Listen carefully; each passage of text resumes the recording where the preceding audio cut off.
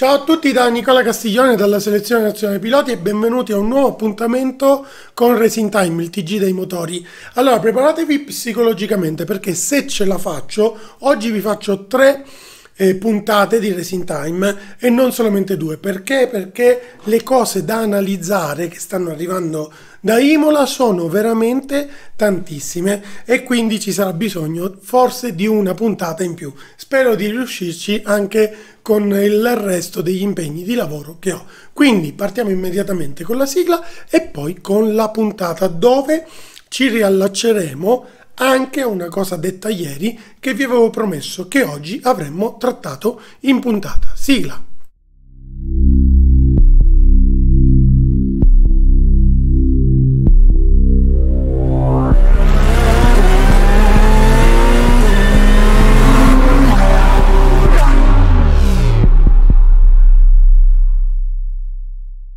Bene, partiamo subito con questa puntata riallacciandoci a una cosa che ha detto ieri Vasser. Ve l'avevo promesso, oggi avremmo trattato di questo argomento che ieri in realtà vi ho solo anticipato. Sì, perché Vasser ieri a Casa Peroni ha sottolineato come la Ferrari lo ha fatto in più interviste, quindi questa cosa qui che dice è un um, denominatore comune a più interviste rilasciate, dove appunto lui dice che la Ferrari adesso si spinge più al limite, senza paura di sbagliare e senza paura di osare.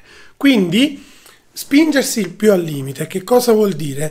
Vuol dire fare delle scelte particolari, ma vuol dire anche a livello di aggiornamenti andare in zone, a percorrere zone grigie dei regolamenti esattamente come hanno fatto altri. Ecco, mentre la Ferrari del recente passato era molto restia a muoversi in determinate aree. Ricordiamoci ad esempio il fatto della flessione delle, flessione delle ali anteriori, come Ferrari sia stata una delle ultime scuderie ad arrivarci e sempre l'ho fatto in maniera molto molto contenuta.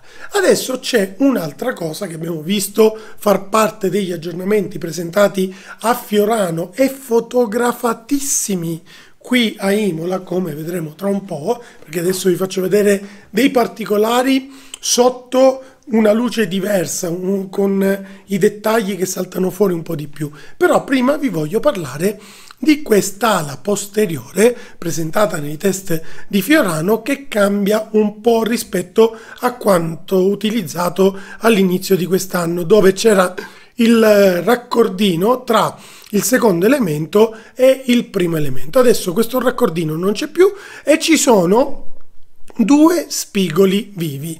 Allora, in realtà la Ferrari non è la prima ad arrivarci qui a Imola, ad esempio, vediamo che su quattro scuderie, qui manca la Mercedes, eh, quindi su quattro scuderie di punta abbiamo Ferrari e Red Bull con questa soluzione, McLaren pare di no e Aston Martin pare di no, però già abbiamo visto come questa soluzione sia stata sposata anche da Mercedes, McLaren, un po' da tutti, anche la Ferrari qualche volta ci ha fatto vedere qualcosa di simile, però stavolta possiamo dire che si sia spinta un po' più in là in quanto l'estensione di questo spigolo dell'ala posteriore eh, del secondo elemento dell'ala posteriore della Ferrari sia un, come dire, un, vada un po' più verso fuori, belle queste strisce bianche e gialle, rispetto a qualcosa di dritto invece che abbiamo visto fino ad ora.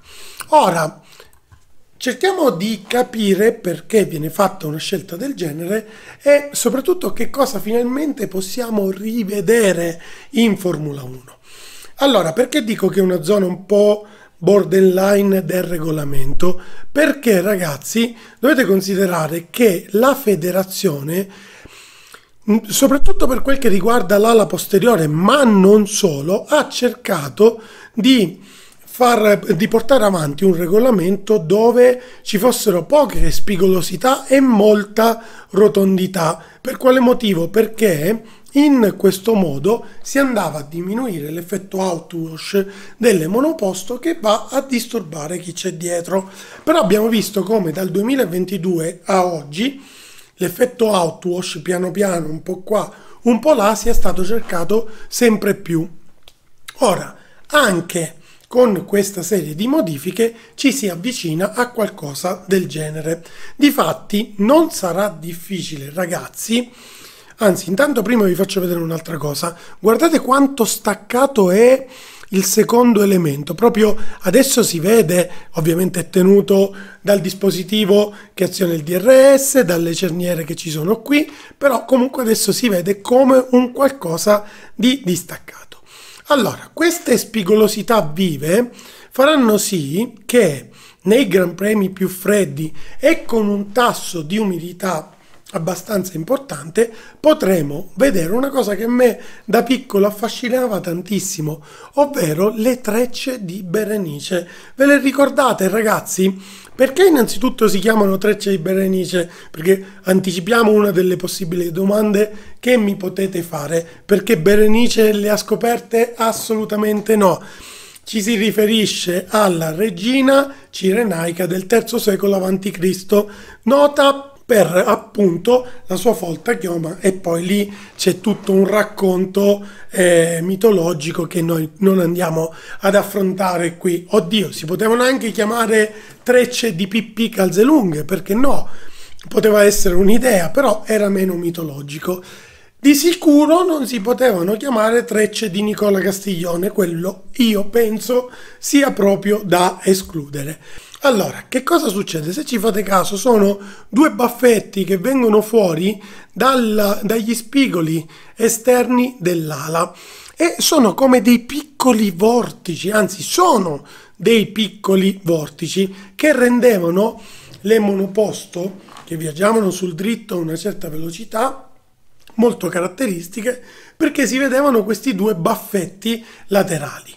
Ora ovviamente con gli spigoli vivi nell'ala posteriore, questi, eh, questi, baffetti si vedranno molto di più. Ma da che cosa sono causati? Che cosa succede lì? E soprattutto perché si sceglie di andare con un'ala spigolosa anziché una arrotondata qui?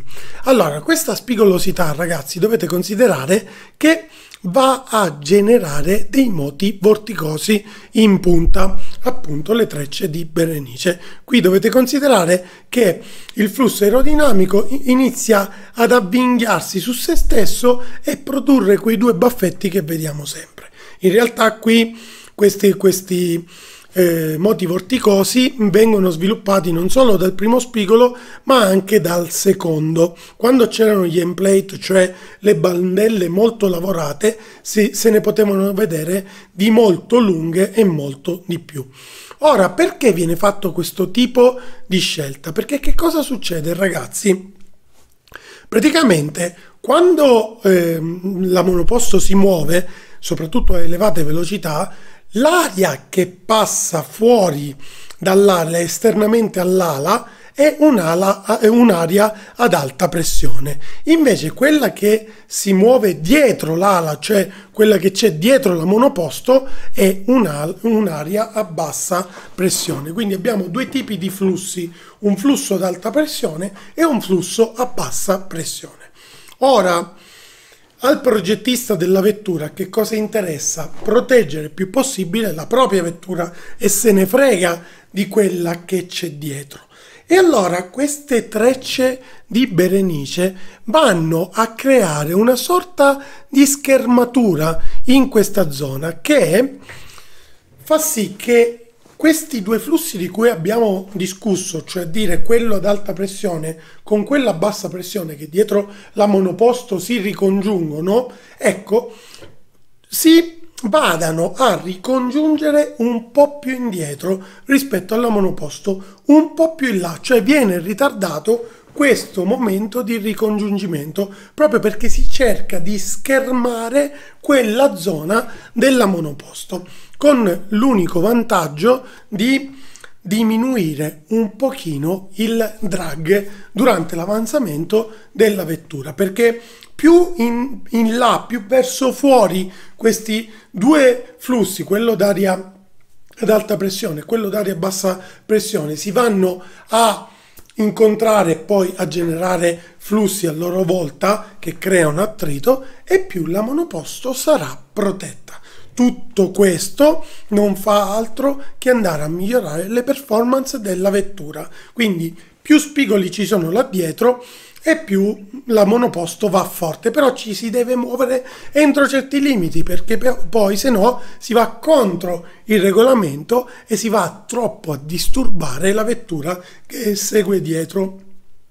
Come potete vedere si fa di tutto per schermare il più possibile la propria vettura, però questo ha un prezzo, cioè disturbare, e a volte questa cosa viene cercata anche apposta, disturbare la vettura che segue. Ad esempio ieri abbiamo parlato dell'ala anteriore della, che tra l'altro è tutta nuova anche sotto la coperta, dell'Aston Martin. Vedete come questo disegno ondulato sia stato abbandonato a favore di uno dritto. Se andiamo a guardare anche la Ferrari ha fatto la scel stessa scelta e un po' tutti stanno facendo questa scelta. Per quale motivo? Perché si va a proteggere di più tutto quello che c'è dietro, cioè si va a schermare di più la vettura riducendo gli attriti a livello aerodinamico dinamico. Questo è quello che è stato fatto grazie a questa piccola modifica di cui in realtà abbiamo parlato pochino, ma che mi è venuta in mente a seguito delle dichiarazioni di Vasser. Bene, capito perché ci saranno più puntate? Perché già ci siamo mangiati 10 minuti solo parlando di questa cosa. Andiamo a dare un'occhiata ai box di Imola perché alcuni particolari aggiornati si vedono meglio. Ad esempio, vi avevo parlato tante volte, anche prima della presentazione, di questo supportino che sarebbe cambiato per forza di cose. Come potete vedere qui abbiamo quello lì di Imola, che si vede molto meglio qui, e qui abbiamo quello di Miami. Ora, a Imola che cosa è stato fatto? Innanzitutto qui abbiamo un filo interdentale piccolissimo che va a tenere il, lo specchietto nella sua estremità, ma poi è nato un deviatore di flussi che anche in questo caso tende a separare i flussi aerodinamici, cioè a dire quelli che vanno in questa zona della vettura e si dirigono verso gli scivoli delle pance che sono cambiati rispetto a, a Miami ma che ancora non abbiamo visto e poi quelli invece che stanno all'esterno vengono buttati verso fuori, appunto anche qui effetto outwash. E poi un'altra cosa che vi voglio far vedere, guardate qui la bocca delle pance, vedete adesso come è molto più piccola, prima era un po' più alta. Questo perché è stato possibile ragazzi? Perché adesso si va a sfruttare anche la presa d'aria verticale per convogliare aria verso i radiatori che prima invece era designata all'S duct o bypass duct se preferite. Infatti, come possiamo notare qui, scusatemi, spostiamo la manina dove serve, non c'è più lo sfogo d'uscita che c'era fino a Miami. Adesso, come vedete qui, è tutto più pulito e abbiamo questo deviatore di flusso molto arcuato che anche qui va a separare i flussi, quelli che vanno verso lambire la carrozzeria verso la zona dello sfogo d'aria e invece quelli che poi vengono convogliati verso l'esterno. Sfogo d'aria che cambierà durante la stagione, in, quanti, in, quanto, come potete vedere, questo coperchio è perfettamente amovibile e questo foro può crescere o diminuire in base alla temperatura esterna. E poi ancora voglio farvi vedere un'altra cosa che sempre a Fiorano c'era, cioè questa piccola fessura dalla quale esce aria e soprattutto l'adesivo di Ayrton Senna aria calda e soprattutto l'adesivo di Ayrton Senna che le Ferrari hanno entrambi eh, su in, ovviamente in vettura. Bene, chiudiamo con la programmazione delle nostre dirette, domani si inizia alle 13.20 e poi sempre sul canale Yellow Skid avremo tutto quanto quello che state leggendo qua.